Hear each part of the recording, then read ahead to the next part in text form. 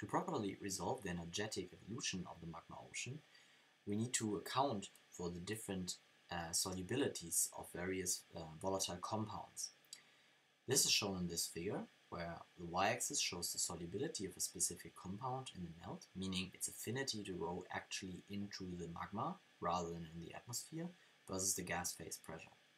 So this here, for instance, says that water is very soluble, and if the planet is completely molten, majority of it, or most of it, will actually be in the magma and not contribute to the extinction in the atmosphere. Uh, for instance, CO2 or hydrogen are different cases, and they would actually outgas earlier than water. This means, in order to properly resolve the evolution of the magma ocean, we employ these fits, which are fits to available petrologic data, to account for the mass budget that is either dissolved of a specific compound in the mantle or contributes the total mass in the atmosphere.